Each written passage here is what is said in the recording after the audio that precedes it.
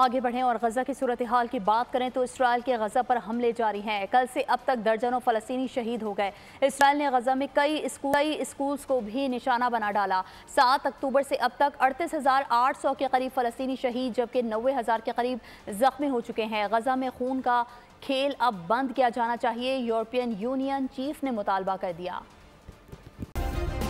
Subscribe करें और bell दबाएँ ताकि कोई खबर रह न जाए।